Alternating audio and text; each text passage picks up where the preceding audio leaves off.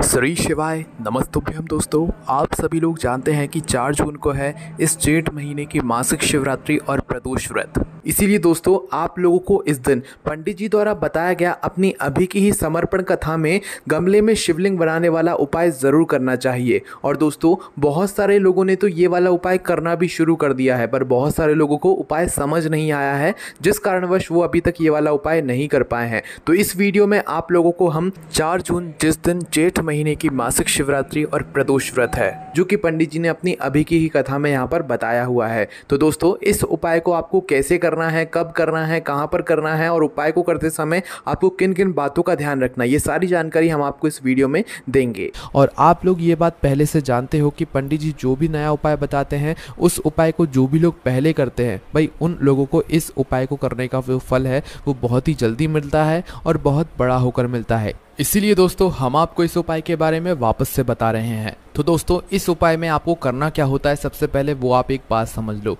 तो देखो, इस उपाय में आप लोगों को मात्र एक पार्थिव शिवलिंग बनाना होता है। पार्थिव शिवलिंग बनाना का मतलब होता है कि आप मिट्टी से ही अपने हाथों से एक छोटा सा शिवलिंग बनाओ। उसे हम पार्थिव शिवलिंग कहते हैं। पर यह पार्थिव शिवलिंग हमें कहाँ पर बनाना है, ये उपाय हम कहाँ पर कर सकते हैं? तो सबसे पहले आप लोग ये बात सुन लो। तो देखो, इस उपाय को करने की पंडित जी ने दो जगह बताई हैं। ठीक है? इस उपाय को करने की सबसे अच्छी बात यही है कि इस उपाय को अगर आप अपने घर में ही करना चाहते हैं तो भी कर सकते हैं, कोई भी दिक्कत वाली बात नहीं है। तो देखो, जो दो स्थान है, वो दो स्थान में से सबसे पहला जो स्थान है, वो है कोई सा भी वृक्ष मतलब कोई सा भी ऐसा पेड़ जो कि बड़ा हो, जिसके नीचे बैठकर आप लोग अपना यह वाला उपाय कर सकते हो, पाँच बेलपत्र वाला उपाय कर सकते हो या गमले में शिवलिंग बनाने वाला उपाय कर सकते हो, ठीक है? उसके बाद में जो दूसरी जगह है, वो है दोस्तों आपका गमला, ठीक है? क्या, कौन सी जगह है? आपका गमला, है ना?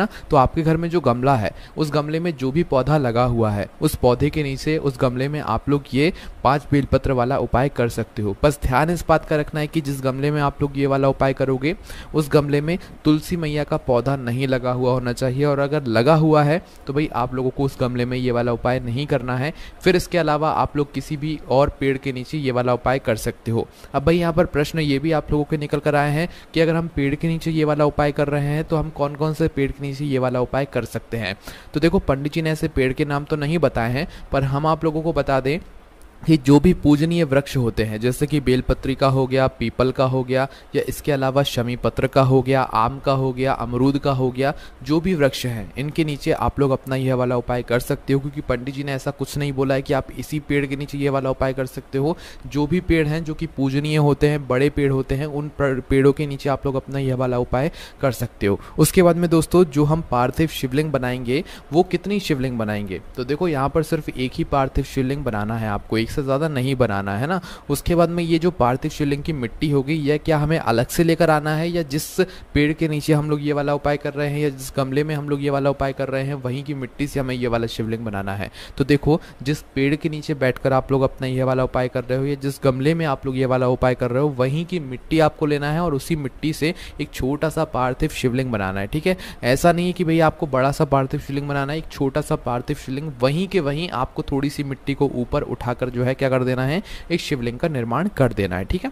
आप उसमें जल की भी मतलब हेल्प ले सकते हो कि अगर आपको मतलब जल उसमें चाहिए पड़ेगा शिवलिंग बनाने के लिए तो भाई आप जल भी ले सकते हो, उसमें कोई भी दिक्कत वाली बात नहीं है, ठीक है? और ये बात आप सभी लोग जानते हैं कि उपाय जो है वो सुबह के समय होगा। कब होगा? सुबह के समय होगा। थोड़ी बहुत देर भी हो जाती है, दस, ग्यारह, बारह बजे तक भी अगर उपाय कर लेते हो तो भी कोई दिक्कत वाली बात नहीं है, आपका उपाय काम ज़रूर करेगा, ठीक है? उसके बाद में दोस्तों, ये वाला उपाय करना किसको है? तो देखो, हम आपसे पहले ही बोल चुके हैं कि ये वाला उपाय विशेष रूप से घर की जो बड़ी माता बहनें होती हैं, उनको करना है, ठीक है? और घर की सभी बड़ी माताओं बहनों को नहीं करना है। घर में से जो एक बड़ी माता बहन होंगी, उनमें उनमें से किसी भी एक बड़ी माता बहन को ये वाला उपाय कर लेना है, ठीक है? पुरुष को ये वाला उपाय कर भी सकते हैं और नहीं भी कर सकते। हैं उसका ये सबसे बड़ा कारण ये है कि ये वाला उपाय आपकी घर की दुख और परेशानियों को दूर करेगा। आपके घर में जो भी आपकी परेशानियाँ चल रही होंगी, उनको दूर करेगा और आपकी मनोकामनाओं को पूर्ण करेगा। तो हो सके तो भाई आप में से जो भी घर की जो बड़ी माताएँ बहनें हों, उनको ही मुख्य रूप से ये वाला उपाय करना है। पर अगर किसी कारणवश घर की माताएँ बहनें उपाय ना कर पा रही हों या वो घर में उपस्थित ना हो तो फिर उस स्थान पर फिर घर का कोई जो बड़ा पुरुष होगा, वह ये वाला उपाय कर सकता है। पर कोशिश आपकी यही होनी चाहिए कि घर की बड़ी माताओं बहनों में से कोई एक माता बहन इस पाँच बेलपत्र वाले उपाय को यहाँ पर करे, ठीक है? उपाय को करते समय शुद्धता का विशेष रूप से ध्यान रखना है।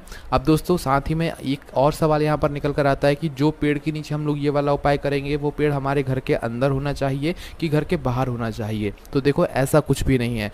पेड़ चाहे आपके घर के अंदर लगा हुआ हो, पेड़ चाहे आपके घर के बाहर लगा हुआ हो, आप कहीं पर भी ये वाला उपाय कर सकते हो, कोई भी दिक्कत वाली बात नहीं अगर आपके घर के सामने ही पेड़ लगा हुआ है तो भैया आप उस पेड़ के नीचे ये वाला उपाय कर सकते हो। अगर पेड़ आपके घर में ही है तो आप घर में भी ये वाला उपाय कर सकते हो, ठीक है? और अगर पेड़ नहीं भी है तो भाई गमले तो आपके घर में होंगे ही होंगे तो गमले में आप लोग ये वाला उपाय कर सकते हो। और अगर गमला नहीं है तो आप किसी पेड़ के नीचे ये वाला उपाय जाकर करो, है ना? तो इस उपाय को आप आसानी से कर सकते हो। इसमें आपका कोई भी बहाना यहाँ पर नहीं चलने वाला है। हम आपको इस उपाय को ऐसे बता रहे हैं, अगर आपने ऐसे इन सभी बातों को ध्यान रखते उपाय किया तो आपको उपाय का फल ज़रूर मिलेगा, ठीक है? उसके बाद में दोस्तों, जो अगली अब सबसे बड़ी बात आती है, इस उपाय को करने की विधि क्या है? मतलब जो सामग्री है, वो क्या क्या हमें इसमें लगने वाली है ना? तो सबसे पहले तो पार्थिव शिवलिंग तो आप वहीं पर जाकर बनाओगे, ये तो आपको पता ही चल गया और एक ही पार्थिव शिवलिंग बनेगा, इसमें अलग से कुछ भी नहीं बनेगा, ठीक है?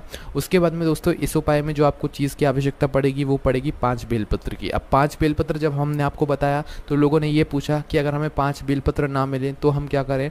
तो देखो, पाँच बेलपत्र अगर आपको ना मिले तो आप क्या कर सकते हो कि भाई आप कुछ नहीं कर सकते हो, आपको पाँच बेलपत्र लाना ही पड़ेगा। उसका सबसे बड़ा कारण यह है कि ये वाला उपाय हम किसी मंदिर में जाकर नहीं कर रहे हैं। अगर हम मंदिर में जाकर करते तो हम शिवलिंग के ऊपर से ही उठाकर पाँच बेलपत्र को धोकर इस्तेमाल कर लेते। पर ये वाला उपाय हम हमारे घर में ही कर रहे हैं, हमारे घर के आसपास जो वृक्ष हैं, उनमें ही कर रहे हैं।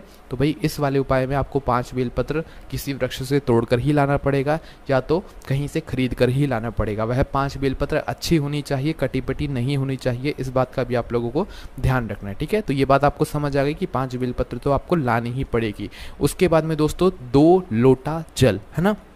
अब दो लोटा जल कहने का मतलब क्या है कि हमें दो लोटा में जल लाना है? तो देखो, अगर आपके घर में एक लोटा तो होगा ही होगा, है ना? अगर आपके घर में दो लोटा नहीं है तो भाई उस जगह पर आप एक लोटा में जल भर लो और दूसरा कोई भी एक पात्र ले लो, कटोरी ले लो, कुछ भी ले लो, जिसके अंदर आप लोग जल भर लो। पर लेना आपको दो पात्रों में जल है यहाँ पर, है ना? पंडित जी ने दो लोटा बोला हुआ है, पर कई सारे लोगों के घर में दो लोटा नहीं होंगे। तो एक लोटा होगा तो एक लोटा तो आप जल भर लो और एक कटोरी ले लो या एक कोई सा पात्र ले लो, उसके अंदर जल भर लो। पर भरना आपको दो पात्रों में ही जल है ना? और अगर दो लोटे हैं तो भाई दोनों लोटों में जल भर लो और दोनों लोटे जल को लेकर आप लोग आ जाओ, अपना जहाँ पर उपाय कर रहे हो, वहाँ पर, है ना? और जितना जल्दी सुबह उपाय करोगे, उतना ज़्यादा अच्छा रहेगा। और आपको उपाय का फल भी जल्दी मिलेगा, ठीक है? उसके बाद में दोस्तों, अब उपाय को करने की बारी आ जाती है। अब उपाय को करने के लिए आप वहाँ पर आ जाओ, जहाँ पर आप लोग अपना यह वाला उपाय कर रहे हो, ठीक है?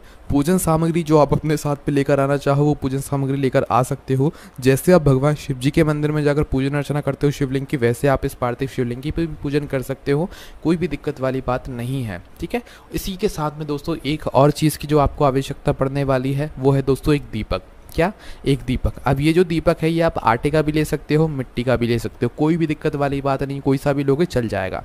इसके अंदर जो बत्ती रखाएगी, वो गोल बत्ती रखाएगी और इसके अंदर शुद्ध देसी गाय का घी डलेगा। ठीक है? शुद्ध देसी गाय का घी इस्तेमाल करना उपाय आपका अच्छा काम करेगा, है ना? तो एक घी का दीपक तैयार करके आप पहुँच जाओ वहाँ पर, जहाँ पर आप उपाय कर रहे हो, चाहे घर में, चाहे घर में जो भी पेड़ लगा हुआ वहाँ पर, या आपके घर के बाहर जहाँ पर भी पेड़ लगा हुआ हो, वहाँ पर, है ना?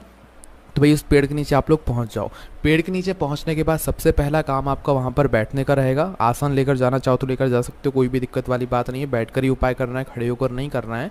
उसके बाद में बैठकर आप लोग क्या करना है, सबसे पहले तो एक पार्थिव शिवलिंग का निर्माण करना है। और शिवलिंग भी ऐसा नहीं कि बिल्कुल आप मंदिर जैसा शिवलिंग बनाओ आपसे जैसा शिवलिंग बनता है ना, वैसा आप मात्र एक पार्थिव शिवलिंग का मतलब ये होता है कि आपको मात्र शिवलिंग बनाना है है ना? जो आपको अपनी हथेली से जो है थोड़ी सी मिट्टी को ऊपर की ओर उठाकर बस उस शिवलिंग को इस तरीके से तैयार कर देना है ना? बिल्कुल ऐसा जमा कर शिवलिंग नहीं बनाना है। आपको मात्र आसानी से जैसे आपसे शिवलिंग बनता है अपने हथेली से, वैसे आपको बना देना और सीधे हाथ के हथेली से शिवलिंग बनाना है ना? शिवलिंग जैसे ही आपका बन जाता है, उसके बाद में आपको क्या करना है दोस्तों? अपनी पाँच बेलपत्र को निकाल लेना है। क्या करना है? अपनी पाँच बेलपत्र को निकाल लेना है। अब यहाँ पर आपको पहले जल नहीं चढ़ाना है। बहुत सारे लोग पूछ रहे थे कि भाई पहले हमें जल चढ़ाना है कि बेलपत्र चढ़ाना है? तो पहले आपको जल चढ़ाना है, ठीक है? और दीपक भी पहले नहीं जलाना है, ना जलाकर रखना है, ठीक है? अब कब जलाना है वो हम आपको बताएँगे।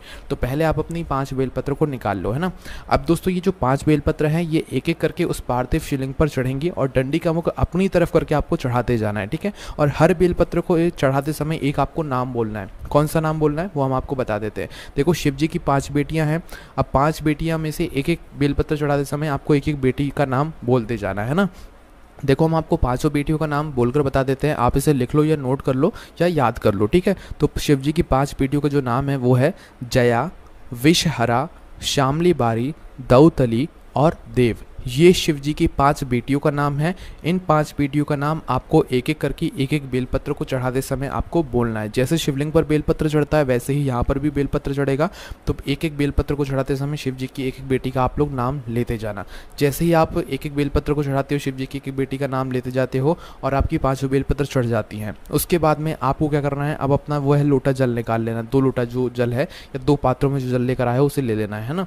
अब दो पात्रों का जो जल है, वो आपको अपने दोनों हाथों में पकड़ लेना है। एक सीधे हाथ में पकड़ लेना है, एक उल्टे हाथ में पकड़ लेना है। चाहे किसी भी पात्र में आप जल लेकर आए हुए हो, अपने दोनों हाथों में एक एक पकड़ लेना है। उसके बाद में आपको इसी पाँच बेलपत्र के ऊपर, पार्थिव शिवलिंग के ऊपर, इन दोनों पात्रों को आमने सामने कर लेना है ना? क्योंकि दोनों पात्रों का जल आपको एक साथ एक धारा से चढ़ाना है, इस बात का भी ध्यान रखना है ना? तो दोनों पात्रों को आमने सामने कर लो और आमने सामने कर कर अपने पात्रों से जल गिराना शुरू करो, धारा बनाकर जल गिराना शुरू करो, उन्हीं पाँच बेलपत्र के ऊपर, इसी पार्थिव शिवलिंग के ऊपर, है ना?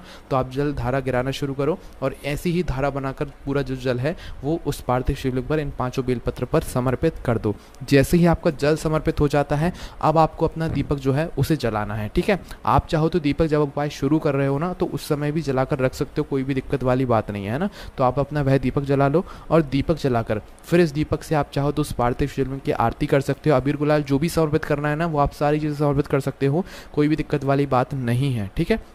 इसके बाद में दोस्तों, जैसे ही आपका वह दीपक जल जाता है, उस दीपक को जलाकर वहाँ पर मतलब आपको शिवलिंग की आरती उतार कर वहाँ पर रख देना है और रख कर आपको क्या करना है? भगवान से वहाँ पर प्रार्थना करना है। ठीक है? प्रार्थना करना है, उनसे विनती करना है, आपकी जो भी मनोकामना हो या जो भी दुख और परेशानी हो, जिसके लिए आप लोग अपना यह वाला उपाय कर रहे हो, अपनी वह दुख और परेशानी बोलना है। अपनी किसी एक ही काम के लिए ये वाला उपाय करना, बस इस बात का ध्यान रखना, एक साथ आप दस मनोकामना मत बोल देना, एक साथ आप दस दुख और परेशानी मत बोल देना, ठीक है? तो अपनी किसी एक ही दुख और परेशानी के लिए मतलब आप उपाय करना, अपनी जो भी मनोकामना है या दुख और परेशानी है, वो जो है मतलब दीपक जलाने के बाद भगवान से विनती करके हाथ जोड़कर बोल देना और वहीं पर भगवान को धूक ज़रूर दे देना मतलब मतलब उनके सामने शर ज़रूर झुका देना, ठीक है? अब, उसके बाद में आपको क्या करना है दोस्तों कि ये जो पाँच बेलपत्र हैं, ये पाँच बेलपत्र को आपको छोड़कर नहीं आना है, ये पाँच बेलपत्र को उस पार्थिव शिवलिंग के ऊपर से आपको उठाना है और उठाकर इन्हें आपको अपने घर पर लेकर आना है, ठीक है? इन पाँच बेलपत्र के अंदर अब भगवान शिव जी का आशीर्वाद आ गया है और आशीर्वाद आ गया है तो इन्हें आप जब अपने घर पर रखोगे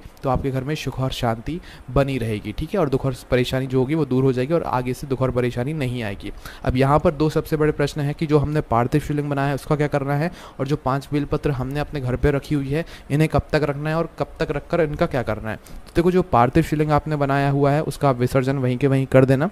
मतलब पाँच बिलपत्र उठाकर, पर जब तक वह दीपक ठंडा ना हो जाए, जब तक तो मत करना, जैसे ही वह दीपक जो आपने जलाया हुआ है, वह ठंडा हो जाए, उसके बाद में आप लोग अपना ये वाला जो उपाय है ये कर सकते हो, ठीक है? तो दीपक उठाकर, दीपक ठंडा हो जाए तो भाई उसके बाद आप उस पार्थिव शिवलिंग का विसर्जन कर सकते हो। और जो बेलपत्र आप अपने घर में लेकर आए हुए हो, यह बेलपत्र कम से कम आपको ढाई महीने तक अपने घर में रखना है, ठीक है? क्योंकि ढाई महीने के अंदर आपने जिस मनोकामना के लिए या जिस दुख और परेशानी के लिए वाला उपाय किया होगा, वो ढाई महीने के अंदर आपकी पूरी हो जाएगी या दुख और परेशानी दूर हो जाएगी, ठीक है? वैसे दोस्तों, पंडित जी ने बोला कि पंद्रह दिनों में आपको इस उपाय को करने के बाद फल मिलना चालू हो जाएगा, है ना? पर दोस्तों, उसके बाद में हमें इन पाँच बेलपत्र का क्या करना है, जो कि हम उपाय के लिए अपने घर पर लेकर आए हुए थे और इन्हें कहाँ पर रखना है? तो देखो, जब उपाय को करके अपने घर पर इन पाँच बेलपत्रों को लाओ तो किसी भी शुद्ध स्थान पर रख देना, अपने भगवान जी वाले स्थान पर रख देना, किसी भी अच्छी जगह पर आप इन पाँच बेलपत्र को रखना। किसी भी एक पात्र में रख सकते हो, कपड़े में बांधने की आपको ज़रूरत नहीं है, ठीक है? और जैसे ही ढाई महीना होता है तो भाई आपको इन पाँच बेलपत्र का विसर्जन कर देना है। विसर्जन कैसे करोगे? किसी भी बहते हुए जल में आप जाकर इन पाँच बेलपत्र का विसर्जन कर सकते हो, ठीक है? क्योंकि ज़्यादा दिन के बाद अपने आप ये बेलपत्र सूख जाएँगे तो इसके बाद आप इनका विसर्जन कर देना, कोई भी दिक्कत वाली बात नहीं है। यहाँ पर ये वाला उपाय पूरा हो जाता है। अब दोस्तों, इस उपाय को आप खुद कहो कि हमने आपको कैसे समझाया है। इस उपाय को ऐसे समझाया कि आपके मन में कोई सवाल आने ही नहीं वाला, अगर आपने पूरी वीडियो को अच्छे से देखा हुआ है। बाकी दोस्तों, कोई भी दिक्कत समझ परेशानी आती है, इस उपाय करने में आप उनसे कमेंट करके पूछ सकते हैं। ओम नमः शिवाय, जय बोले आबा श्री शिवाय, नमस्तुभ्यम।